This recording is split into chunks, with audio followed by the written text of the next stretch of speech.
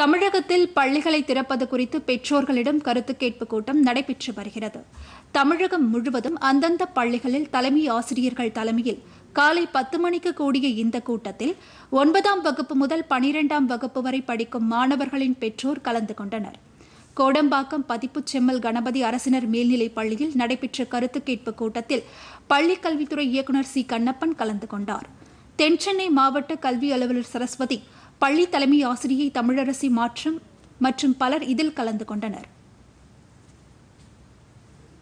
இதேபோல் தியாகராய நகர் மகளிர் மேல்நிலைப் பள்ளியிலும் மாணவர்களின் பெற்றோரிடம் கருத்து கேட்கப்பட்டது. இதில் பள்ளி தலைமை ஆசிரியர் ஜீவராணி உதவி தலைமை ஆசிரியை எழிலரசி மற்றும் மாணவர்களின் பெற்றோர்கள் கலந்து கொண்டனர்.